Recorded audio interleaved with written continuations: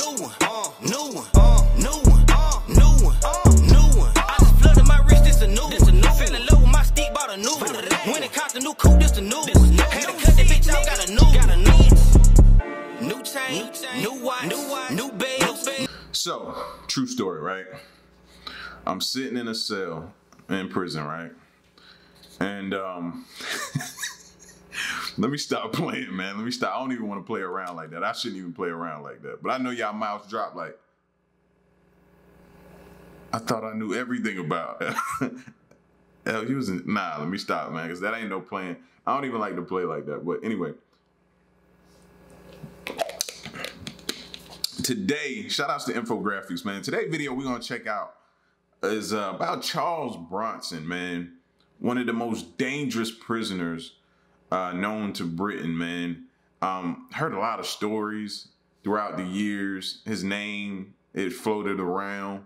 You know what I mean? I think they had a TV show or a movie out about him or something like that, but never really sat down and truly heard the story from beginning to end. So I'm hoping they usually do a good job of that. So I'm hoping to hear about him, man. But um, when we look into like prison shows or documentaries, take for instance 60 Days In, man, they really pull the curtain back and give you an opportunity or a glimpse inside to see what really takes place inside of some of these prisons, man.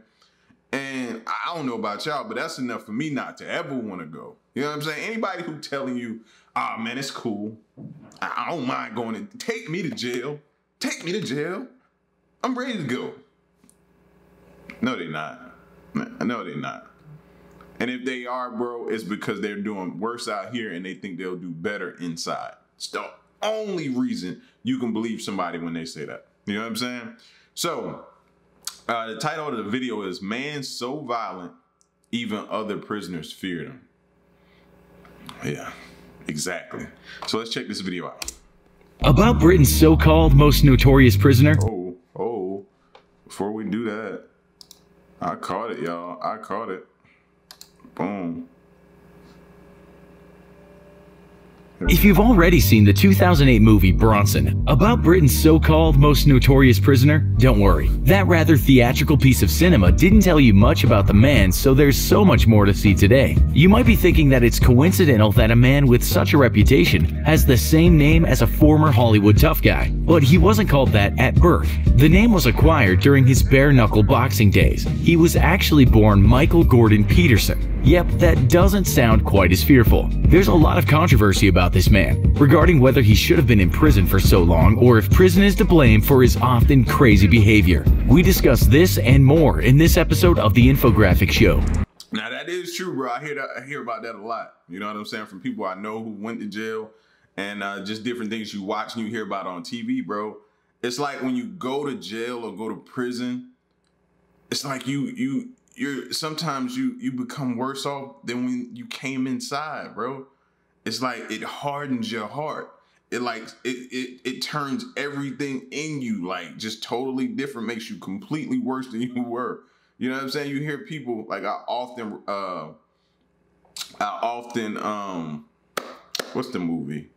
Blow with with uh Johnny Depp when he always say I always refer to that movie. He always says um I went in with a bachelor's of marijuana came out with a doctorate of cocaine or however he says it, man, that always resonates with me, man. It's like you go inside and you learn way more than you did about being a criminal than you did on the outside. Like, how does exactly how does that happen? Britain's most notorious prisoner, Charles Bronson. As you know, he was born with the name Michael. His birth date was December 6, 1952. He spent his first few years in Wales and then moved to Luton, which isn't too far away from the capital, London. It doesn't seem that he came from a rough and tumble background, given that his father ran a conservative club for a while and his aunt and uncle were a mayor and mayoress. His aunt actually once said this about him. As a boy, he was a lovely lad. He was obviously bright and always good with children. He was gentle and mild-mannered, never a bully. He would defend the weak. He might have defended the weak, but it seems his penchant for violence and crime started early in life. After he moved up north at the age of 13, it seems that that's when trouble started. At that age, he was charged as a juvenile for stealing, and it said he was part of a gang. He didn't much enjoy school and soon left to start working at an early age. His first job came when he moved back down to Luton. This was a very short two-week stint working in Tesco supermarket. Apparently, he was fired for attacking his manager.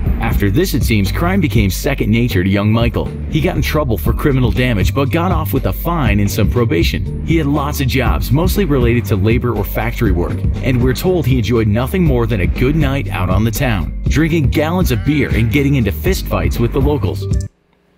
Did that that dude just say gallons of beer? Gallons? Like that's not often the metric you hear used when referring to a night out drinking, bro. Gallons of beer? Fam. Yeah, I bet he was angry. I'd be angry too. I drink gallons of beer. A good night out on the town, drinking gallons of beer and getting into fistfights with the locals. Easy to do in some areas of the UK. He likely wasn't short of foes on the mean streets of Luton. One of his jobs, we're told, was a circus strongman, so he was likely a hard man to fight. He got in trouble again after crashing a stolen lorry or a truck into another car, but again got off with just a fine as no one was seriously hurt. At this point, he is still in his teens. No, at this point, we gotta blame our the, the police force. Why does he keep getting off after this pattern, this upward pattern he has already shown? You know what I'm saying? His trajectory of violence is going like this. It's not down, it's going up. At some point in time, we gotta say, hey, maybe he needs to spend some time in a cell and think about it. You know? Rehabilitation, isn't that what prison, jail, reform, all that's supposed to do?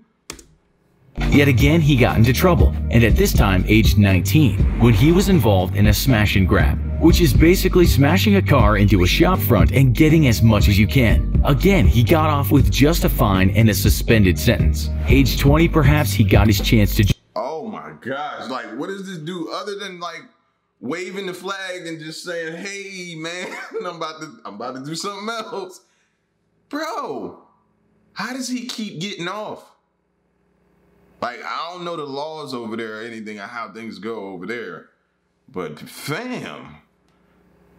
Join what is sometimes called the straight and narrow, as he met a girl and got married. But apparently she quite liked his tough guy persona, his tailored suits, and the fact that he spoke in a Cockney accent. They had a child and called him Michael Jonathan Peterson. According to the British press, the son is very private and has never spoken publicly about his notorious dad, so we can't tell you much about him. Moving on, now 22, Michael was arrested for armed robbery, and at this time the judge came down hard. Oh, finally. I was just about to say, bro, if he don't go down for this one, fam, I'm moving. I'm moving to a, a different state, bro, or, or a different country. Fam, where the laws are relaxed. You know, it's pretty much uh, uh what's what's my movie with uh ah, with the siren when the siren come on y'all know what i'm talking about purge purge purge it's nothing but purges going on over there he got seven years, but prison wasn't exactly a place he liked being, it seemed. During his first stint in prison in Liverpool, he attacked two other prisoners, and we're told he wasn't provoked. That got him time in solitary, something he would see much more of later. He was then transferred to prison in Hull, and again had issues with guards and prisoners. They gave him sedatives to calm him down, which apparently made him very ill. He also spent more time in isolation. He was said to be a very difficult prisoner. On one occasion, he was out of solitary, he attacked a prisoner with a glass jug, and he was convicted of unlawful wounding. Yet again, he was moved this time to the tough Armley Jail in Leeds, a foreboding looking place if you've ever seen one. So there he was, now serving time in what looks like a medieval castle. Even in 2018, the place is said to be the place with the highest rate of people taking their own lives. And in the press right now, it's said it's still very much an unsafe place for both prisoners and staff. Back in the 70s, it can't have been a holiday. But it seems he was too much for Armley, and he kept moving between a number of prisons, sometimes chained to the floor of the vans he traveled in. It's said if not in solitary, he would attack prisoners and guards. It's also said he incurred numerous vicious beatings from the guards after an attack. You might have seen that in the movie, which depicts these guards having to tackle him in numbers. During one time in solitary while recovering from a beating, he got divorced. We imagine this might have been a low point, but it's said that one thing that kept him going was his solitary workout routine, keeping him healthy and fearsome. His book, Solitary Fitness, which he wrote after many years inside, has sold millions of copies. Reviews are actually very positive, although people talk about how strange the book can get at times. Yeah, I hear I hear all the time. What's the big uh what's the guy Kali Muscle? You hear you ever watch his videos? And like he, he tell a story of how he went into prison and you know what I'm saying, and he got out, went on this whole little fitness journey, man, becoming this like huge, like big mega fitness guy. Like Kali Muscle is one of those dudes, man, that that you hear about and you hear him talk about like the the back in the day, like the prison workouts and different things that he would do in prison or different things people do in prison to stay in shape, man. Them prison workouts ain't no joke, bro. You want to shred the weight? Go on YouTube and search up like prison workouts. You know what I mean? And do the ones with like no weights.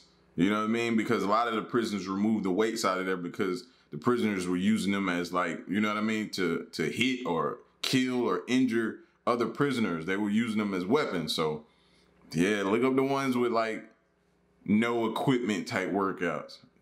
It'll get you right. Profits from the book, says the media, go to children's charities. The British press tells us that his strength was quite unbelievable. He once bent the cell bars with his own hands, and it said he holds six world records for strength and fitness. I'm not working there. I'm asking for a transfer. what? He just bent the prison bars, bro? Nah. Transfer me or I won't be back. You put me on the schedule, I'm not coming back. You might as well not even put me on the schedule, bro. I'm not coming back. He bent the bars, the prison bars. He bent them. Nah, that's not regular string. That's a different type of string. You know what I mean? That, that's different.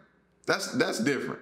He's a mutant. Bent the cell bars with his own hands, and it's said he holds six world records for strength and fitness. Another unofficial record he has set is the most prison rooftop protests by any British inmates. But right now, we're still in the 70s and a long way from fame or infamy. While in prison in London, he tried to poison an inmate, and it seems that was the straw that broke the camel's back. Enough with prison, he was transferred to a psychiatric facility. But guess who he met there? two of Britain's most ruthless gangsters, the Kray twins. He called them the best two guys I ever met. That friendship didn't last long though, as he was moved back to prison. What followed was more solitary, escape attempts, attacks on prisoners that ended with lifelong scars, more attacks, and finally, when the authorities were sick and tired, he was sectioned under the Mental Health Act. He was no longer just a criminal, but mentally ill. In 1978, he was again in another special facility, but it seems he didn't much like being forced to take medication, and wasn't keen on the fact that he was surrounded by some of Britain's most disturbed people.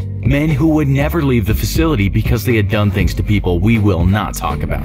Yep, he didn't like some of these terrible men, and at one point was said to be about 5 seconds away from killing a fellow patient or prisoner who had taken the life of an innocent child. In his own words, describing the people around him at the facility, I witnessed them running into walls, using their heads as rams. I've seen them fall unconscious doing this. There was one who just kept trying to eat himself, biting his arms, legs, and feet. He tried to kill another prisoner, and then in 1982, when still in the notorious Broadmoor, he led a rooftop protest that lasted three days and caused around $300,000 worth of damage. Now you can see why this guy became well known as a I blame the system for that, bro.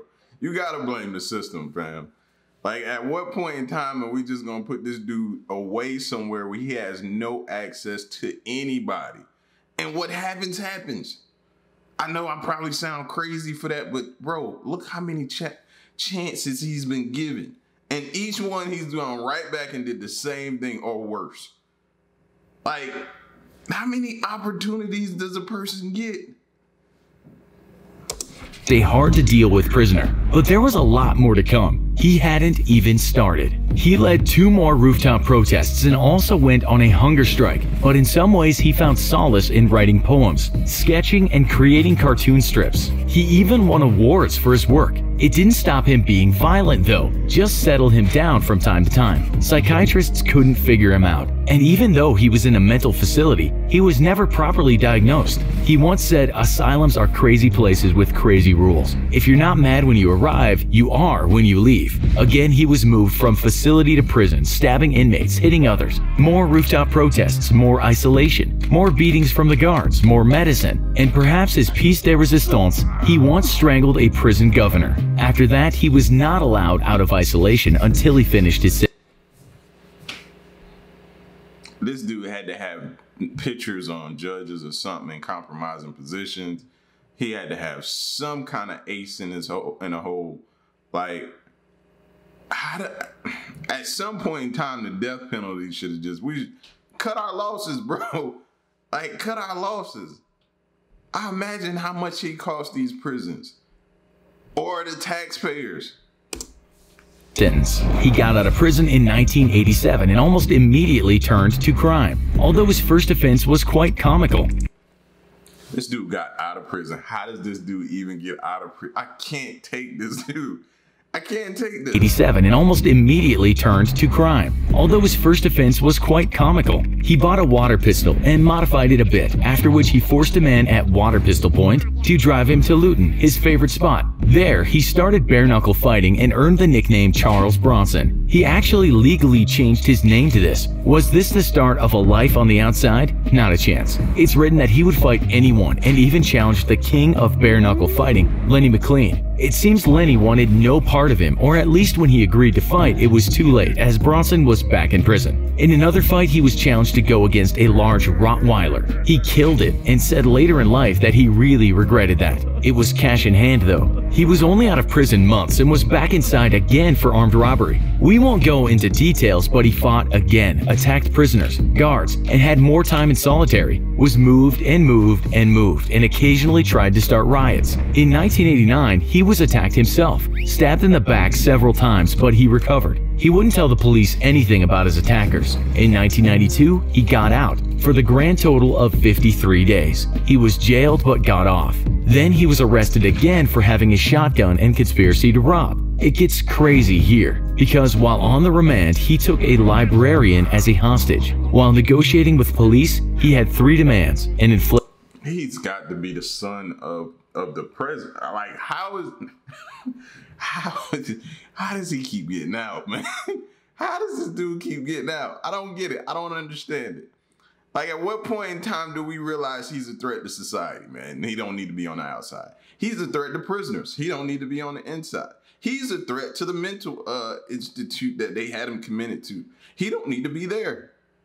It's safe to say he don't need to be here. you, you see what type of conclusion I'm drawing? He don't need to be here inflatable doll, a helicopter, and a cup of tea. Yep, you heard that right. He was given 8 years despite saying the gun was to blow off his own head. It wasn't the first time he had contemplated taking his own life. He was difficult again, transferred from prisons, and at times was left naked for many days on end in dark isolation. At one point, he was put in the worst spot in any prison in the UK, something called the Hannibal Cage, that had been created for another prisoner who had once killed inmates, and was said to have spooned out one person's brain and eaten it. Even though at one point he attacked a governor, it said he got much better after being allowed to interact with handicapped children. He also kept up his cartoon sketching. These were the quiet times. They didn't last long. He endured more solitary, more moves, and then in one prison he took two Iraqi hijackers as hostage in his cell. It said he was going crazy after losing his father.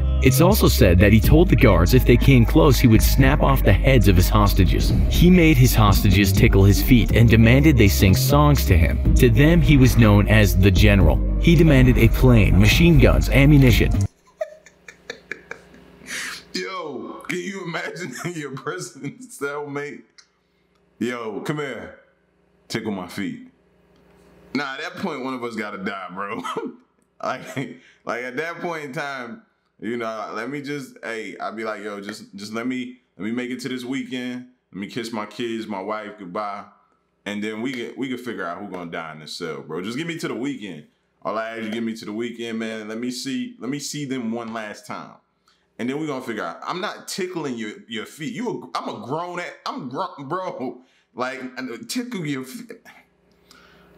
Y'all almost made me get demonetized, man and a cheese and pickle sandwich. It seems later he just kept asking for ice cream. In the end, he let the hostages go and another seven years were added to his sentence. While in great physical shape, it's said that all the time in darkness and solitary had negative effects on his eyes and his social skills, and lawyers now started to get on his side. It's a pity then that he took one of them hostage. He let him go quickly though, but after one civilian worker criticized his drawings, he took him hostage too, and then started ripping up parts of the prison. Hmm, what else? Well, after the millennium, he got married again, converted to Islam, changed his name and took another hostage, wrote a book, sketched a lot, and then changed his name to Charles Arthur Charlie Salvador, out of respect for his favorite artist. The movie came out and he became a household name. Until then, not many people knew about him. Thousands of people around the world started to support him, saying even though he had been a bad boy, his incarceration had just gone on too long. But he couldn't stop messing up. In 2014, he attacked another governor. That same year, his artwork went up for auction, and his 200 pieces, often dark in nature, fetched around 30,000 pounds. Bronson donated a large part of this to the brain tumor charity and Keech Hospice in Luton. Bronson said the old him was now dead, and he was born again as the artist Salvador. He created more works too, donating to other charities and one-time Oxford's homeless. He also got married to an actress in 2017, and she's hoping to see him out soon. In total, out of the 44 plus years he served, 36 of them have been in solitary confinement, sometimes without light. In 2018, it was said that he is in open prison, but will have his case reviewed in two years and could get out. That might not happen though, as he's got a life sentence for one of his kidnappings. That was a teacher in 1999 that he held for two days. The British media reports that he allegedly smothered himself in butter, age 65, and challenged the guards to a fight. We'll leave you with something he once said. I'm a nice guy, but sometimes I lose all my senses and become nasty. That doesn't make me evil, just confused. The question we want to ask you is do you think the authorities did the right thing in this case? No. Did they do the right thing? No. Several times. You want to know how many times they missed the mark? Go back through this video. Every time they released him, every time they moved him, every time they did, everything they did was wrong. I'm sorry. Period. Point blank. And now you hear, hey, he's up for review to get out. Why? Why? Like, nah, man. this, this is, if you ever need like some evidence or proof that our system is jacked up or their system is jacked up or systems in general are jacked up,